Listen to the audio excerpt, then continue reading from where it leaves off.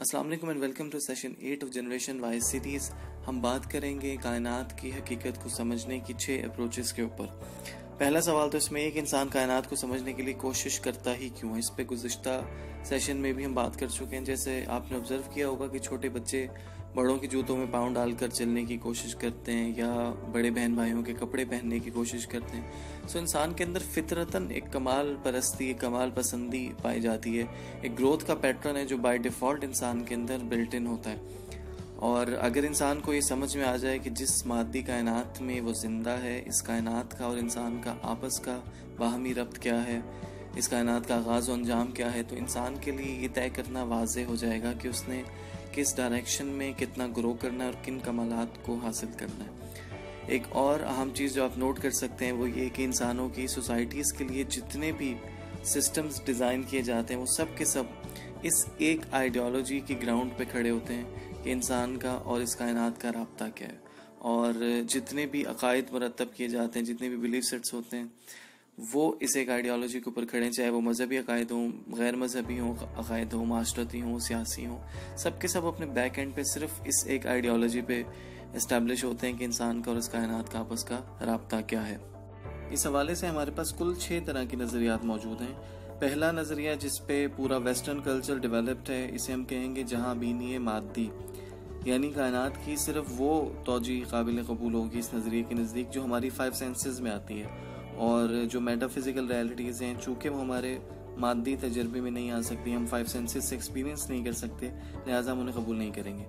سو so, جو یہ material world ہمارے سامنے ہے بس یہی کائنات ہے۔ اسی لیے ان لوگوں نے کائنات کے آغاز کو بگ بینگ تھیوری سے ریلیٹ کیا کیونکہ وہ ایک مادی تجربہ ہے۔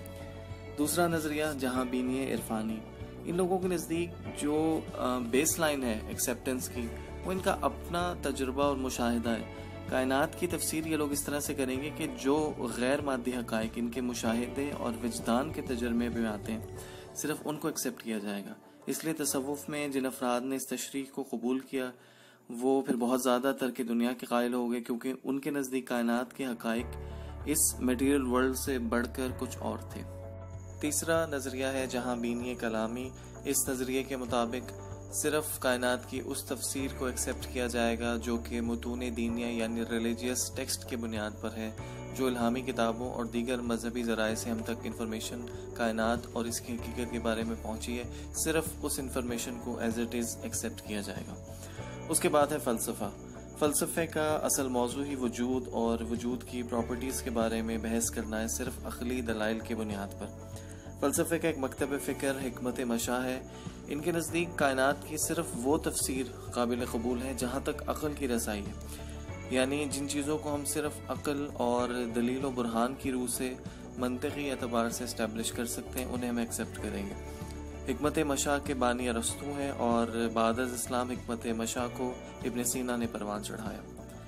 فلسفے کا دوسرا مکتب حکمت اشراق ہے۔ حکمت اشراق کی کہتا ہے کہ ہر قسم کی عقل اور ہر شخص کی عقل قابل اعتبار نہیں ہو سکتی۔ صرف اس عقل پر اعتماد کیا جا سکتا ہے جو تزکیہ نفس کے مرحلے سے گزر چکی ہو۔